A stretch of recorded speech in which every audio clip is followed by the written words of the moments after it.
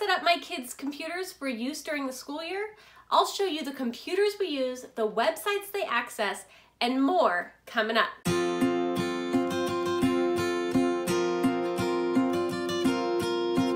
My kids are in kindergarten, second, and third grade, and each one of them has their own computer that they can use for schoolwork and sometimes for fun. The computers I chose to use for each of my kids is the Chromebook. Now, each one of them, like one of my sons has a Samsung Chromebook, another one has an HP Chromebook, and another one has a different HP Chromebook. Like they're not the same. So why did I choose different computers? Well, I didn't really choose to get them different computers. They each got a new computer when they started um, kindergarten, so I just ordered a computer. Now, because computers are always updated and everything, each year I bought a computer, I could never find the same exact one. So that is why they all had different ones and why my youngest ended up with like the biggest screen. Um, luckily, they don't seem to care, but Brand aside, I do really recommend the Chromebooks for younger students. Why Chromebooks? So Chromebooks are very simple. There's no place to put a disk anywhere on these.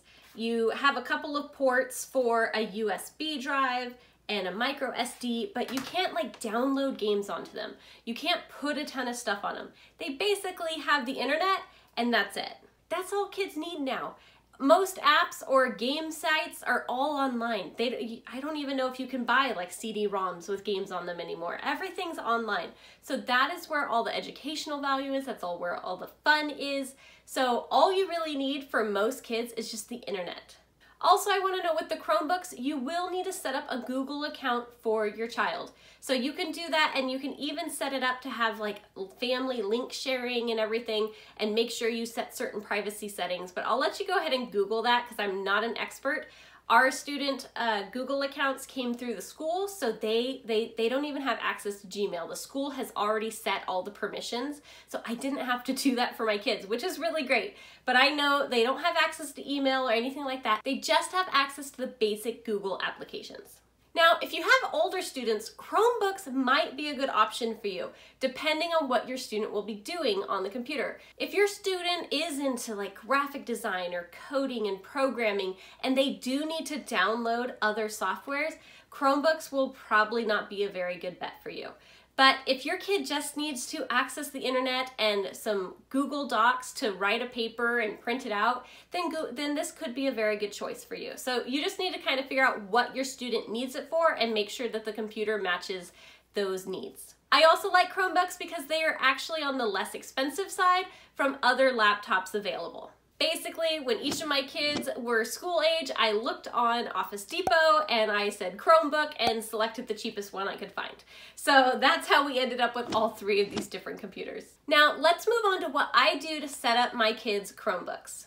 The first thing I do when I open up the Chrome browser is I make sure that I can see the bookmarks toolbar. Now this is key because I use this bookmarks toolbar as these are the sites that you can go to section. Some of them they are required to use for their day-to-day -day school lessons such as iReady or Typing Club for my oldest. And others I have on there just as educational websites that they can go on as fun time. My kids know that these are the only sites they're allowed to and again they're younger so these sites are more than enough fun to keep them entertained. They're not trying to go anywhere else really. But they know that if they're on a site that they're not supposed to be on, they lose their computer privileges. So my biggest tip when using laptops or computers in general with your kiddos is just to make sure that you only put things on there that you want them to use. Now, this can't always be done if you're using a shared family computer, but try to figure out a way that you can make it so kids easily know where to go. Again, if you create a Google account for each student, then you can actually log into the different Chrome browsers and it'll change the bookmarks for each student. So that could be one simple way for a family computer to be able to still have a, a, different child or a different person logging in each time. And that way the bookmarks will change and each student, even if you have high schoolers and kindergartners, they each have their own bookmarks that they know these are the sites they're allowed to go on.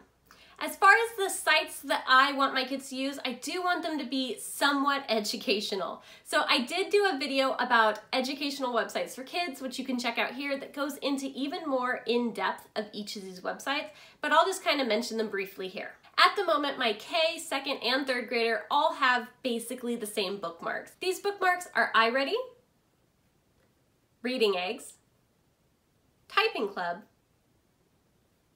Code Monkey, Code.org, Tinkercad, ABC Mouse, Scratch, Starfall, Kodable, NASA Kids Club, and FunBrain Jr. Now, I select the websites that I want my children to use very, very carefully. I'm always checking the website before I let them play. I basically pretend I'm a kid, or sometimes I am, and I go on there and I say, hey, is this educational? How easy is it for them to click on an ad and get somewhere else. There are several websites I wish I could allow my kids to go to because I do like the content, but there's so many ads that look so fun that I know my kids are just gonna click on the ad and end up somewhere else and not know what to do. It is also very important to me that kids stay safe when using the internet. I'm actually going to be coming out with a separate video all about this topic with my tips on how I make sure my kids are safe on the internet. So if you are interested in that, make sure you hit that subscribe button and you'll be notified on all of our new videos and hopefully that will be coming out in the next couple of weeks. One last thing that I wanted to mention that I don't have access to myself because again, like I said, my kids' Google accounts are all set up through the school, but it is possible if you're using a Chromebook to set time limits on certain apps or just on the computer in general. I'll be sure to leave a link in the description below that will take you to full instructions on how to do this, but basically you can set time limits on the computer, you can set time limits on specific apps, or just block an app altogether. So again, check the description for a link to those instructions. Do you use computers in your homeschool? What are some tips and tricks that you use? Let me know in the comments below. And if you like this video, be sure to like and subscribe to get more homeschool content just like this. See you next time.